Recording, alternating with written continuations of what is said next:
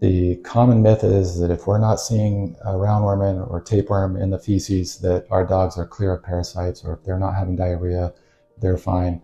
That really is uh, not true. Hi, my name is Jake Searle. I'm a veterinarian at Meridian Street Vet.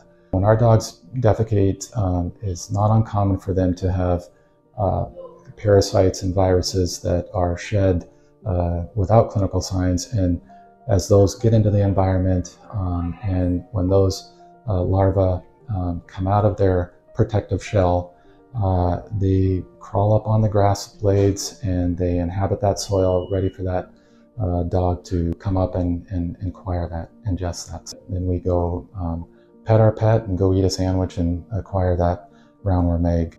Always remember to scoop it, bag it, trash it.